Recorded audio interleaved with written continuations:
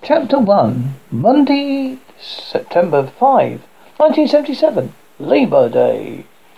April Sweat Sweater was staring out the window of the back seat of, of a station wagon.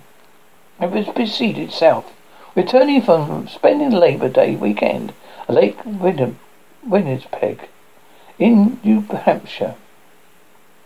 As they'd done for years, school was going to start the next day Oh, as it always had in Broker's Town, New Jersey. It was the last day of April's almost one month grounding, began on her birthday in early August. Eight, April thought back to that day, the yelling, the high-heeled shoes being thrown at her head, the sudden end to the surprise party for her 13th birthday. It started out well. Everyone was having fun, especially nipping off the bottle of whiskey there was food from out of a garage. Happy birthday, dear April. Happy birthday to you. A smiling young friend staying in the backyard opened up from the basement. The white stone gravel patio was sparingly decorated with helium balloons. There burgers on a built-in gas grill, a pink cake on a wooden table, and matched the rest of the outdoor furniture. Wow! Thanks, guys. This is out of sight. Never had a surprise birthday before. Somehow April knew to wear her new white sh- sh- shorts and red tub tube top she bought at the mill. Well, the money she earned from her picking weeds in the yard. April's parents finished the burgers, wished her a happy birthday, and disappeared for the rest of the evening. They knew they did not want the first boy girl they knew they wanted, not wanted at the first boy-girl party at April's house. April was cute for a thirteen-year-old, but she's going for sexy more than cute. She wore no makeup. Her parents wouldn't let her. She was slender and her hair was blonder than usual due to the fact her family had just returned from a month long vacation down on the shore. A lot has transpired during that month. A chance to live in a life separate from her friends back home. What they didn't didn't know wouldn't hurt them, she thought, but she couldn't wait to confide in her best friend, Cassie, about some parts, the boys, the partying, what she experienced and learned about all that. Happy birthday, April! It's Vince, her next door neighbour. He was her childhood friend, a year younger than April. He handed her a small package. I whittled this at Boy Scouts. April opened a small box with, with a gold foil top, obviously taken from one of his sister's rooms. It was just, it was a wooden cross laying on top of a bed of cotton balls from the bathroom. Wow, Vincent, this is so cool. He suddenly gave April a peck on the cheek. Vincent's face turned red. April giggled a little too loudly. Vincent turned and walked quickly away. The sun was clearing to set when Michael and Paul, boys from a nearby neighborhood, started passing around a bottle of whiskey. April watched Melissa Trotter take a small swig. A hand grabbed April's shoulder and turned her. I got you this present, April.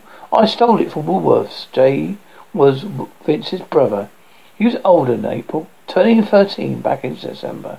He had a classic Italian good looks. Dark, messy hair, rounded nose, dimple in his cheek, chin. They were close friends, but recently things were beginning to change between them. April wasn't sure if it was good or bad, but she liked the way it made her feel. Jay was certainly going out of his way to pay more attention to it.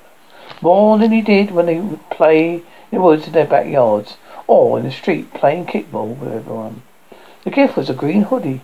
April would wear that hoodie for years to come under a white down vest and had rainbow stripes running up the front and down the back.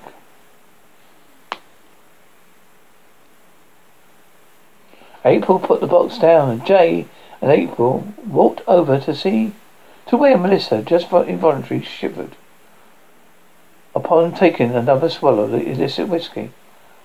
Why did you get that? Where did you get that? Jay asked. It's April's carriage. In April's carriage, Paul replied. Can you believe it? There's a whole case lying there, right there. Actually, Dave could believe it. The neighborhood kids were familiar with the contents of April's parents' carriage. April did not know why her Parents only went to the liquor store only twice a year. But it was a lot more than just a case of whiskey in there. It was the, wasn't the first time a bottle was lifted either. April swiped a bottle of vodka, brought it down the store. Actually, April had Jay do it one time. The garage was standing open. He's always seen that April's mother watched her like a hawk, so he dared not be seen with a vodka bottle when my mother would step into the garage at any moment. Jay hid the bottle in the bushes as she held raising teenage friend would do. April managed to sneak upstairs into her luggage. Paul Murphy and Michael Hill were from a neighbourhood, the other side of Sussex Avenue. It was in walking distance, and recently they seemed to end up outside of the front of April's house all the time. April wondered if her mother actually invited them to, to the party. She made a mental note to ask her tomorrow. The question never got asked. It too much later when April's mother threw open the sliding doors, glass doors from the kitchen, peered at the deck and hovered over the backyard. She started screaming, You bastards! You want get out of our property now! I'll call all your parents. April, where are you? And now, her voice was loud, shaking, and somewhat slurred. April was on the, on the side of the house in the shadows, under the bedroom window, taking a hit of a joint with Casey.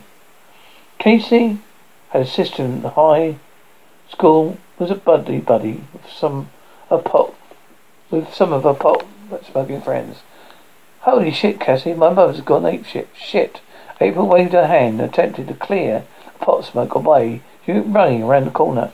Mum, I'm right here. Go, guys. Gotta go. Gotta go. She yelled at the audience, all still in attendance in the backyard. She ran in the basement and up the stairs. Mum, what's going on?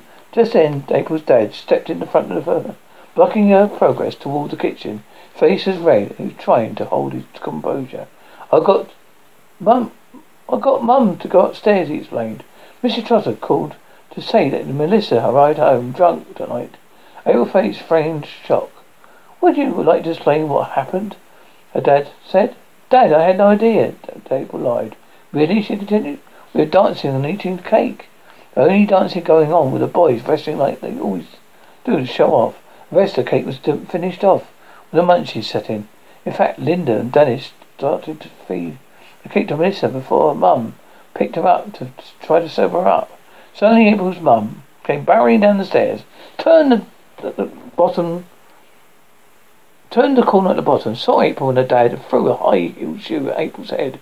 And Janet and Tim, awakened by the commotion, came quickly down the stairs, just in time to see April who effectively blocked the shoe with her arms. Clattered the floor as the shoe mate came hurtling down the hallway along the same path as the first one.